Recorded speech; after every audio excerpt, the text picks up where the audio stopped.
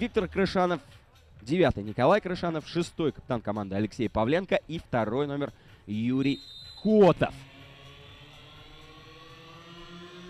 Удар Панкротову и даже не успел выбросить руки вверх. Павел Баженов. 1-0. Дельта на 14 секунде игры. Выходит вперед благодаря мощнейшему зубодробительному удару под перекладину Андрея Панкратова. Столба, центр форварда. Дельта. Несколько повторов с разных камер.